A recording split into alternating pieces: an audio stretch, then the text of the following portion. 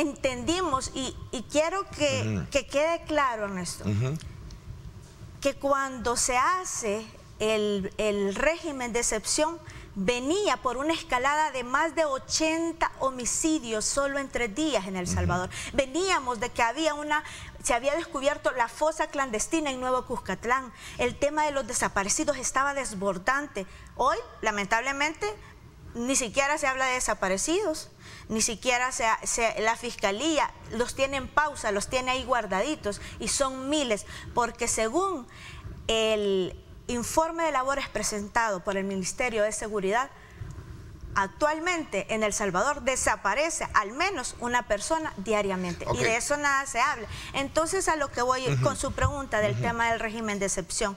El régimen de excepción no es perseguir delincuentes, es que eso ya se podía hacer antes, era obligación de la policía, obligación de la fiscalía hacerlo. Entonces, nos quieren vender un régimen de excepción como una política criminal, cuando lo que demuestra cada prórroga del régimen de excepción es que no somos el país más seguro del mundo, uno que nunca hubo un plan de control territorial y tercero, que tenemos un sistema que no está funcionando.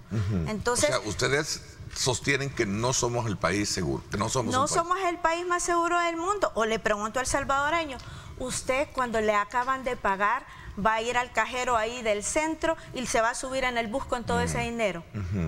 ¿Usted deja sin llave su carro?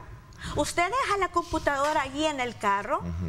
¿Usted todavía quiere andar a las 11 de la noche? No, nosotros en el centro histórico vemos que andan los turistas, pero el salvadoreño en día de semana quiere ir a dormirse porque el siguiente día hay que ir a trabajar, porque si no, no hay comida. Veamos,